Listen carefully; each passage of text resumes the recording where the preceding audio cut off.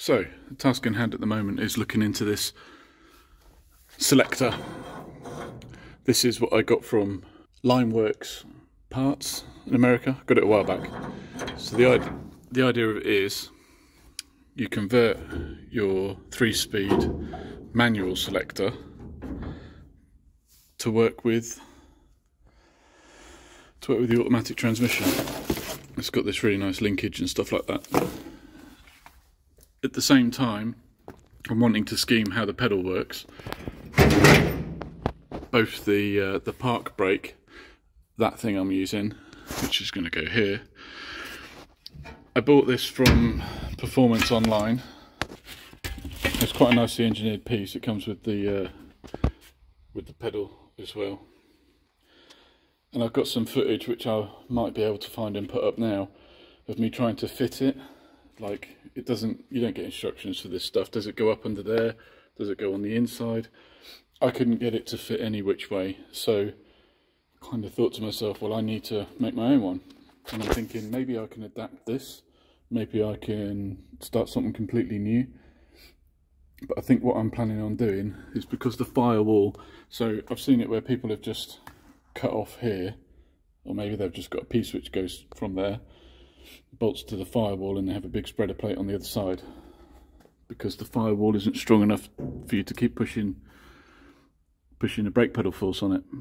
So I'm thinking that first thing to do is cut this off in the middle here and then offer it up, maybe install the booster and uh, go from there.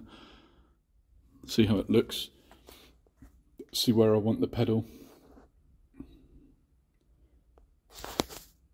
I think that's the thing with a lot of these parts. I mean, I looked for a long time when I realised that the underfloor booster wasn't going to work, and that's what I've got, and I've got to convert it to work with this type of arrangement, and I've looked at the parts and they're all interchangeable.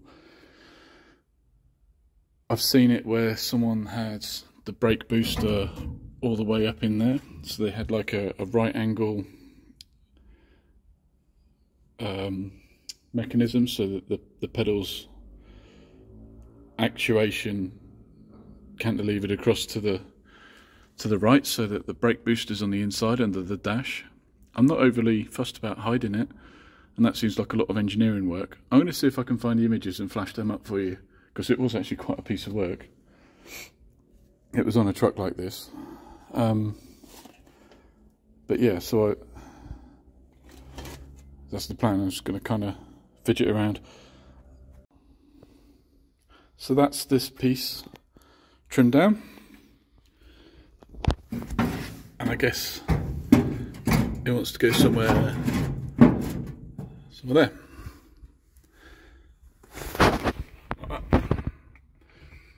Need to get the pedal kind of mocked in there so I can kind of get an idea. So this is what you get when you buy an underfloor adapter. It's the same thing it just actuates differently. It's a dual circuit system designed for disc front, drum rear. It cost a lot of money. Um, yeah, there was a whole debacle about this, but I think it's just going to be a matter of likely changing this actuator pin. Take this piece off. Someone else can buy that off me if they want it, and then that'll bolt onto the uh, to the new one. So I think the way to go. I'm going to take this uh, bracket off, take this uh, arm off, and then offer it up and in the position. Need a bigger workshop. Offer it up in position. I think I'm going to use this hole here as a reference. Uh, I can't remember what was there. Something. And on the face of it, it doesn't look like anything's going to really hit it might extend a bit too far. It might need to go over to the left a little bit. Kind of thinking out loud a little bit here. Bear with me. It's quite heavy to hold and film at the same time, but I'm looking for a more lower inward position, like about here. Oh, yeah, I think that'll be fine.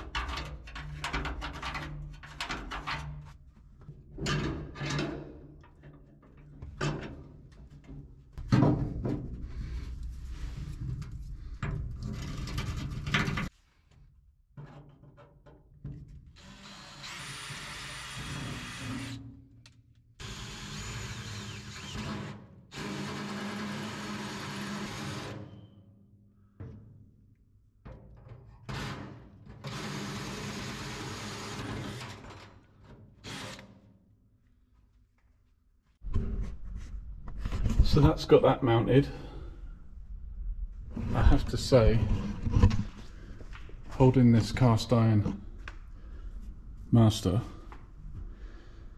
whilst also trying to hold the bracket on the inside and put a nut on, or whilst worrying that my piece of wood might give up at any any moment, I'm kind of like, yeah, I'm happy that that's in. Uh, better check that the uh, the bonnet closes nicely.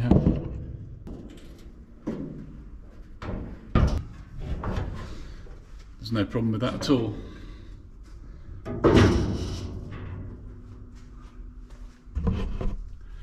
No issues with that fitment at all. I don't actually have a piece which is going to fit that. I need to get, I guess, a short one of those. I don't know how far that's threaded into the... Anyway.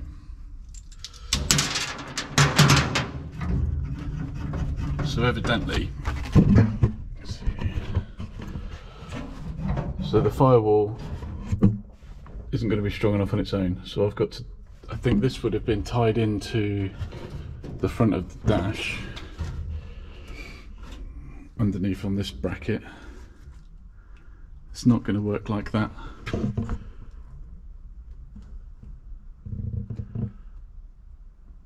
I was thinking about tying the brake here, the, the pedal for the park brake in with it.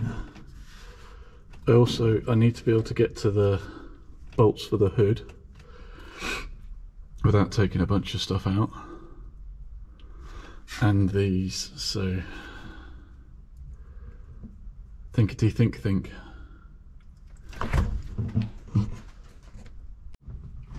All right. Oh, dragging you along. So this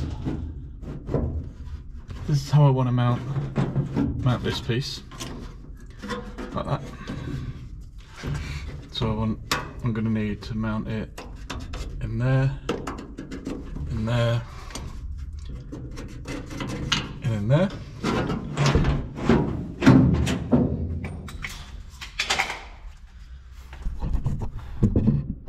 I'm planning on making a plate of steel which kind of comes along here like this. Has a bend with like a yes so it chamfers off there. So it'll come in here like this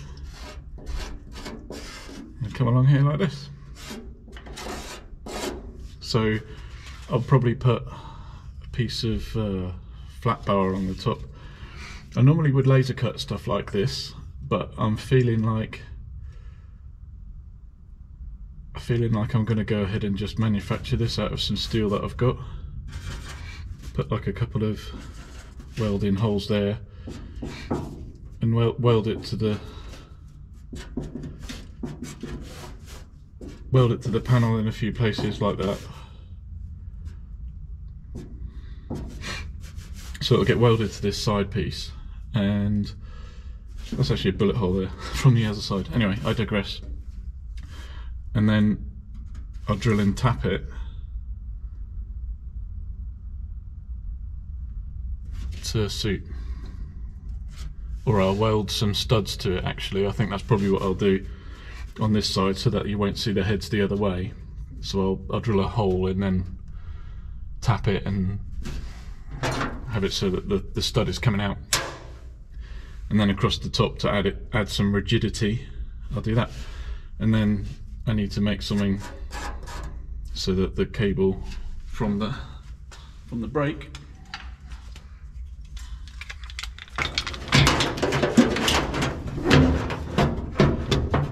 from the brake goes down and out so I need to like kind of make it so it goes about there make some sort of union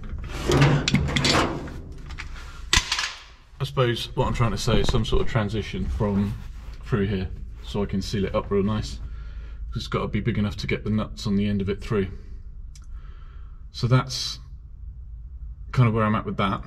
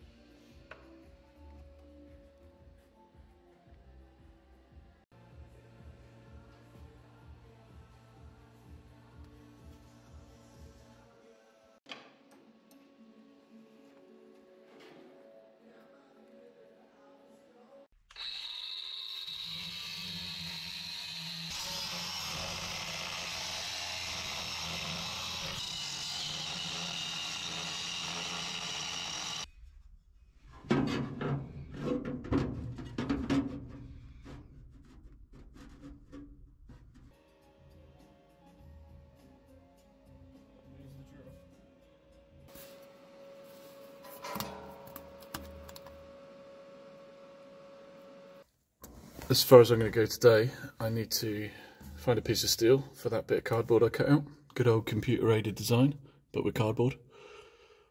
That'll leave enough space for everything to work. Well look, I got myself some steel plate today.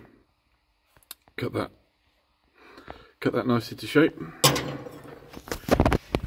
It is going to go in there. Just going to give it a tack in there.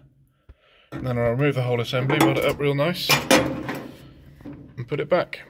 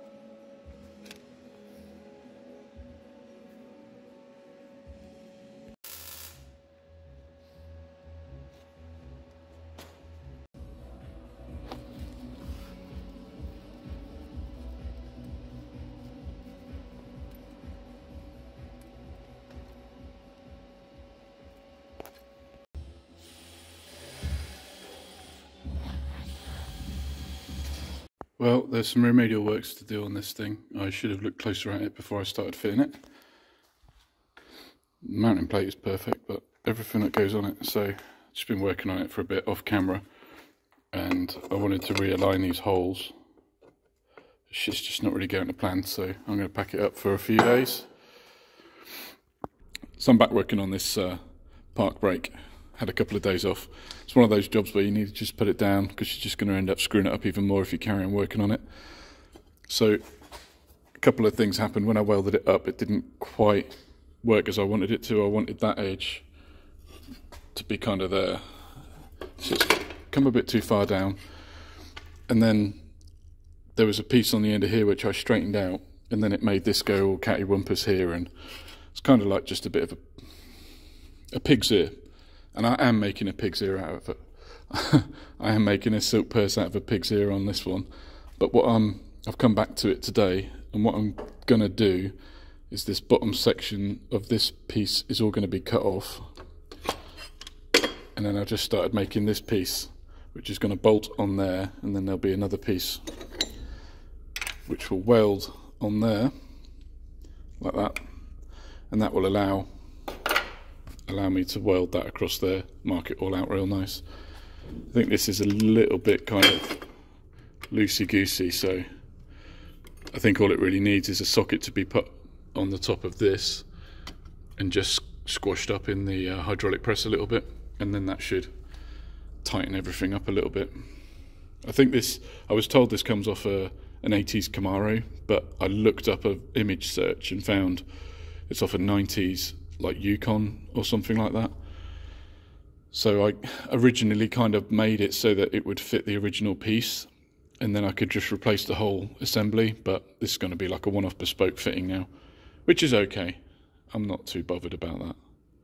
But at least this way I can make it match up this end exactly how I wanted it to.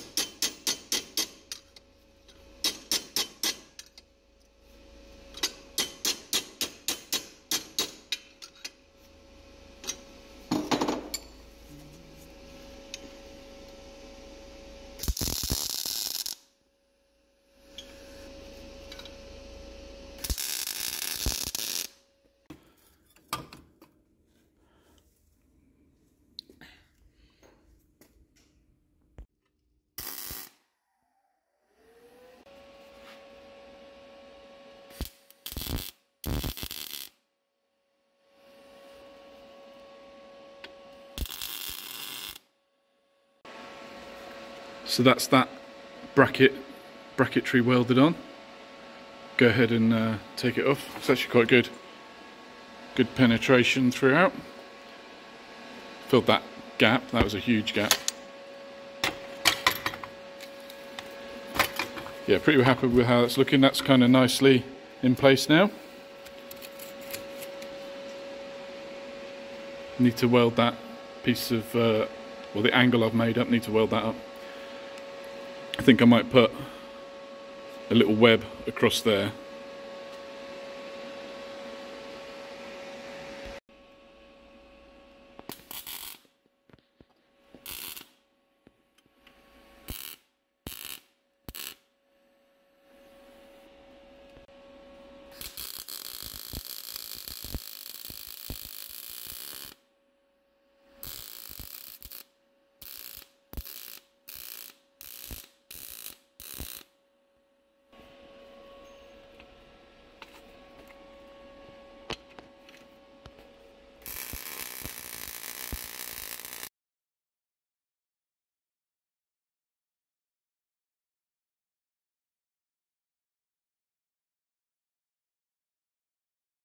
So here's the finished piece. I'm pretty happy with how it turned out. I'm glad I took a break and came back to it. It's really still quite hot. Got that little fillet in there. Welded a square on there and then just trimmed it off. I find that's the best, most accurate way of doing these things. Probably want to just, to make it neat, put a fillet in there between those two tacks. But doesn't need it because I welded all across the back just want it to look like it's meant to be there, if that makes sense. So as if by magic that little weld was done, I think I might put this piece in the shot blasting cabinet just to get a nicer finish on it. I need to find a spring which is going to go in there. And then I need to make a pull rod and handbrake release thing, toggle, whatever. I'll do something nice for that. Need to squash this down. Yeah, so there's some remedial works to do on that, but at the moment, I'm happy for that to be used for mock-up.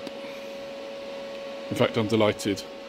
So this, this piece, the bracket with which it goes into, is designed to be welded into the truck. That hole there is going to have a plug of weld to offer some rigidity to the uh, service brake mount.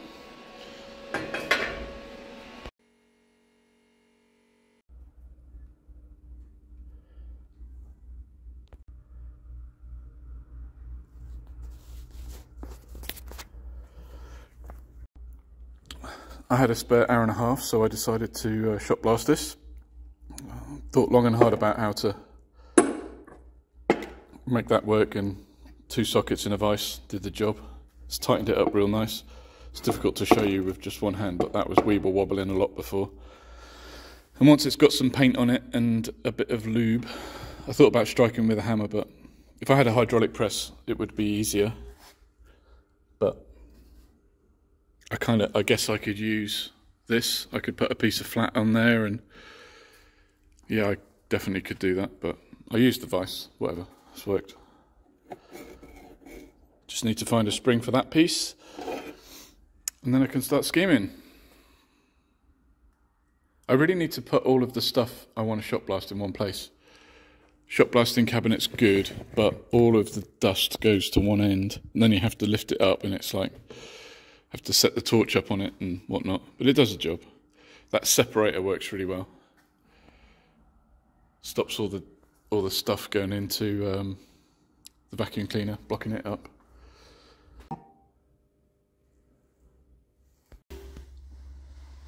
Got that clamped up there nicely, ready to weld. Glad I found that scissor jack.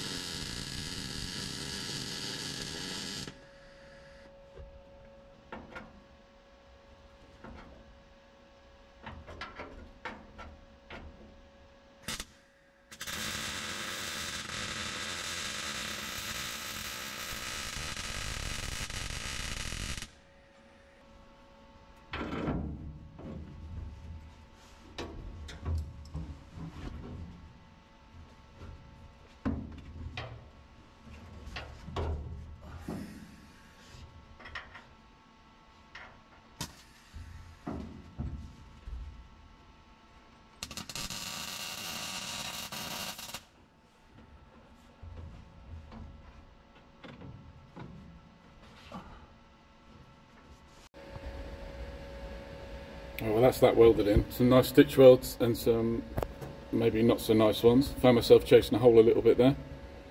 But it's okay, I'm going to give that a grind down. Make it look a bit prettier.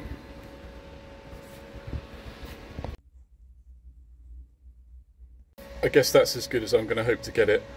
I tried to put a nice bead on there, but it just, uh, it burned through. It's very thin. But yeah, it should be nice and sturdy. I'm going to put the park brake on now. Hopefully it'll fit. So there it is installed. So that works. I feel like it could probably be a bit closer to the edge there. But I can always just offset the uh, the pedal. That's fine, I don't mind doing that. In fact, I've got an idea how I want to redo the, the brake pedal. So, be a good opportunity to do that really. I'll just crank it over like at this point across. Make it look real cool. Get some paint on that. Yeah it's just worth trying it out. It's got a couple more little welds to put on. It'll be good to go it's a little bit of cleanup done. Kind of blew through there. I'm going to do that as ouch do that as part of the uh, fire operation firewall hole block up. There's a few of them left on this side. I don't know about that side. Just got to do this side. So it's nice and sturdy on the left. So the plan is I'm going to make a bracket which screws in on the inside under up under here. So that'll bolt to the steering column and then it will meet here so maybe this will get cut back further but there'll be a plate on here which will bolt to the plate which I'm going to make there. That's going to be a future thing. So I'm going to take out the brake booster, remove that now, and then work on this element.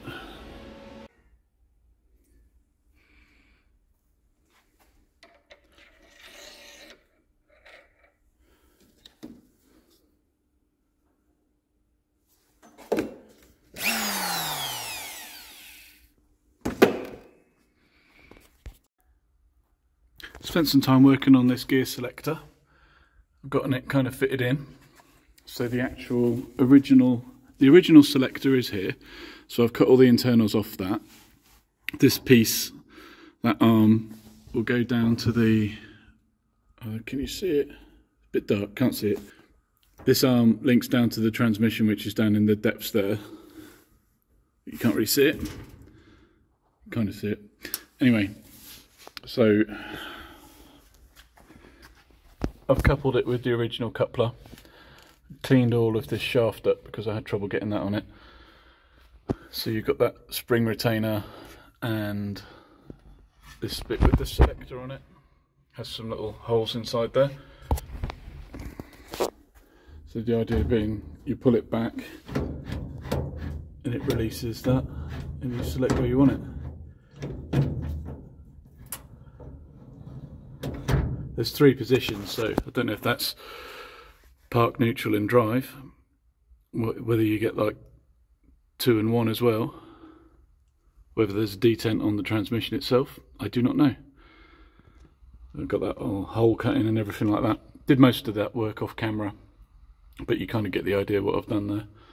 I just kind of want to get that working but I think that's as far as I'm going to go with it because in order to address the clearance issue here, I want to raise the transmission up. Sorry, well, the transmission and the engine. In two minds whether to get a different header or not. Not header, manifold. I think that if I raised up the, I think what I'll probably do is unbolt it from the mount I've got, get the uh, get the lift up underneath it, and see where I want it to sit. We've got we've got a little bit of clearance there at the minute, like an inch between the transmission like and the floor there. And I really wanted to have that unbroken feature there. But if I have to put a little uh, a little bump, it's not going to be that big of a deal. But I think if I can raise this up, the engine up by a couple of inches, maybe, it's going to give me a bit of space to be able to get to that spark plug and uh, a few other things without having to without having to pull the engine. Like you could get a cigarette paper in there at the minute. That strap is kind of touching. So I'm going to rework the engine mounts. I was thinking, do I get a different manifold? One of the Ramshorns ones, which come up a lot higher. I've seen those. Keep the engine mounts how they are. I'm not really very happy with those clamshell type engine mounts. I've got something different to work with. I'll figure that out another day. I think this is where I'm going to leave the video today. I still got a few bits to do on here. Got to put a nice transition in there. But I think that's enough for one video. As always, like and subscribe. Let me know what you think of the video. I'll see you next time. Bye bye, everybody.